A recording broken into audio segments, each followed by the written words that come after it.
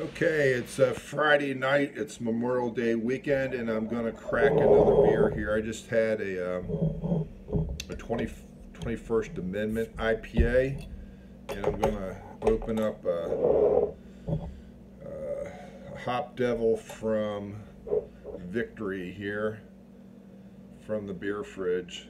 I want to issue a correction from last week about the mountain biking.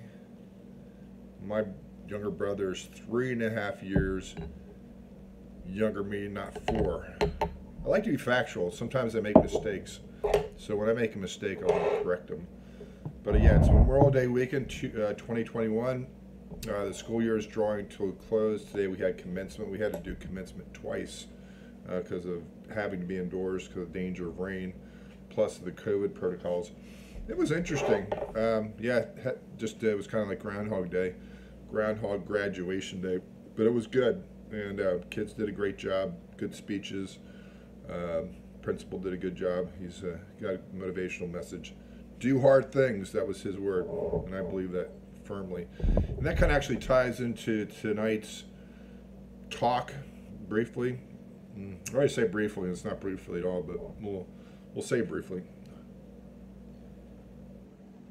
By the way, this is the Soren Kierkegaard shirt that I had mentioned previously that I had worn up in Lake Placid that the uh, lacrosse players thought was a uh, rock band or something. So, do hard things, and how does that tie into beer and alcohol? Well, me kind of start off.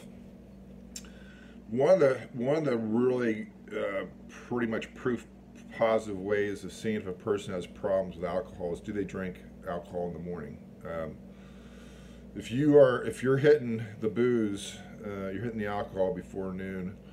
Noon's still pretty early, um, but if you're hitting it first thing in the morning, you, you have a problem. I mean, you have a problem. That's all. That's all I'm saying is you have a problem with drinking alcohol. Even uh, drinking alcohol at noon is dangerous because chances are you're going to be up for a while unless you drink so much that you pass out. So the trajectory of drinking, if you start at 12 at noon, you know, two beers an hour, and if you're up till 9 o'clock, you know, that's a lot of beers. That's 18 beers. Now, I weigh 270 pounds, so I'm not your average man. I'm six foot eight, 200, 270 pounds. I have a bit of a paunch on me. I'm not fat, but I, I, I carry extra weight in the midsection. I admit it. I could lose a little bit of weight. I'm in pretty good shape for being 57 years old, almost 58 a lot better than my peers, that's for sure, and a lot better than most younger people to be to be true and accurate. Ah, but there's something to kick my ass, and that's no problem. I'll admit that. Um,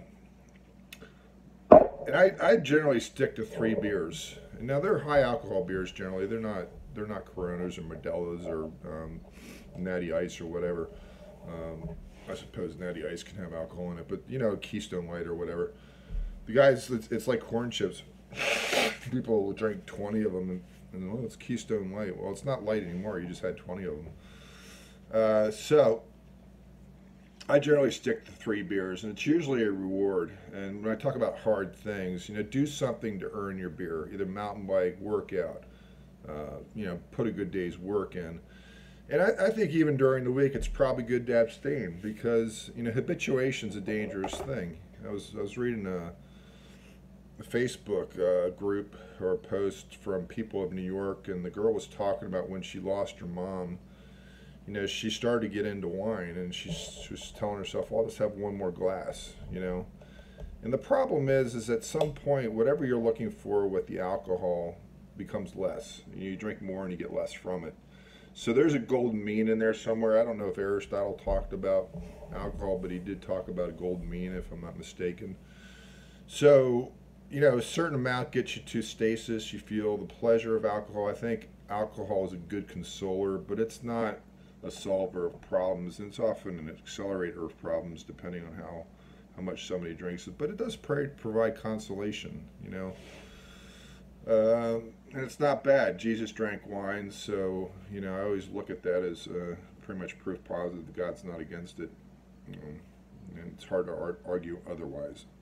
I'll just tell that to you, fundies or Islamic uh, radicals or whatever. Uh, sure, there's abuse. Sure, there's abuse. That's that's not even a point. Like, don't that doesn't it's not worth trying to counter the abuse argument because that's obvious. so do hard things. Um, another sign is if you hit the hard stuff. Um, you know, you have appreciation for bourbon or whiskey or you know something like that, and that's sippable. But I think it was Dorothy Parker that said wine is fine, but liquor's quicker. You know, if you're looking to get hammered or people looking to get hammered, hard hard alcohol is a lot harder to deal with. You have to drink a lot of beer to get really, really, really messed up, especially if it's mainstream beer. You can do it, and people, plenty of people do. But another component of problem drinking is hitting the hard stuff because you can accelerate the intoxication, elevation, or degradation, uh, downward trajectory a lot quicker. So I have hard liquor in my house, and I like to have it. I like to have it around because every so often I like to drink it. But I'm also pretty careful with it. I don't I don't mess with it a lot. I like having it. It doesn't mean I drink it all the time, but you know I like bourbon and I like whiskey, um, but in small quantities. Um, but um, try to be really careful with it. I guess that's the way I would say it. Is that I feel better with beer. Like there's a certain amount of built-in uh, buffer with beer with a lot of water that you're hydrating. Uh, you're drinking for taste. Um, not guzzling, hopefully. And with bourbon, it's very, very easy to hit the uh, just um, you know four or five shots in a glass, and pretty soon you're off to no man's land. And that's one of the issues with alcohol is that you get to about three or four beers within a certain range, and it's very, very easy to double down at that point because some of the rational faculties have, have been dissipated or are being lessened through uh, through excessive com- consumption, and that happens to drunk drivers. Most drunk drivers don't think they're driving poorly. They just ran over a mailbox and they maybe they finally come to a realization that they're wasted. Um, there's a local principal in central Pennsylvania that got busted for going like 85 miles an hour in a 65 mile an hour, 55 mile an hour zone. It was sometime within a year ago. Um, you know, got a DUI, busted, blah blah, and then he got busted again for like running into a pole.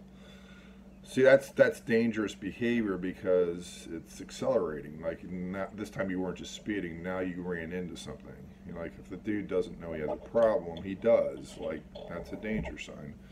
Uh, you missed the sign before. You had a DUI. You were going 85 miles an hour in a 60 mile, 5 mile an hour zone. You got busted by a cop. And now you've run over a freaking pole and you busted your car, and now you're probably in trouble with your job. So you know, we can't miss the lessons, but one sign drinking early. If you're drinking early in the morning, you got a problem. Okay, number two, if you're hitting the hard stuff, you have a problem. All right, those are some proof positive things. If you go beyond like three drinks, you probably have a problem. that doesn't mean you're an alcoholic, but you could become one. Now, I do make exceptions occasionally. Uh, you know, holiday weekends, uh, you know, hanging out with the family those are not normal occurrences. So I'll crack a beer sometimes early, not before noon usually, but you know who knows. Uh, but that's that's once in a while. That's not a pattern of behavior. So take it for what it's worth. I'm a person that um, I think I've developed some discipline with alcohol. I think I've had problems with alcohol. I don't think I've ever been an alcoholic though. I would say that there's been some problem drinking in my past for sure. Uh, there was times I totally abstained. When I became a Christian, I don't think I drank for two or three years, and that was fine. I needed to do that because I had some bad patterns that I needed to change. Um, and since then, uh, since being a Christian, I can't always claim that I've been above uh, above uh, the right practice. You know, I um, I've, I've made mistakes. Another another sign is you wake up and feel like crap in the morning. You've probably had too much. Now the problem is with people that are problem drinkers on their way to becoming alcoholics is that that may no longer stop a person. They they don't feel good a lot, or maybe their body is so uh, used to it they don't wake up with hangovers anymore. They're they're just in a general depressed state.